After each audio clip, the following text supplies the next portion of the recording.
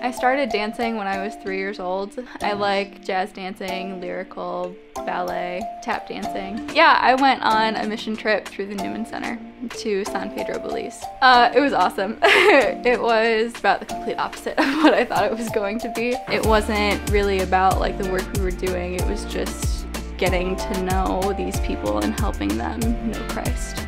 It inspired me more than anything. Seeing these people and hearing their stories of what they had been through um, and still like through all of their pain and suffering, how they still came back to know Christ and were now and now found joy with him was sort of in inspiring for me.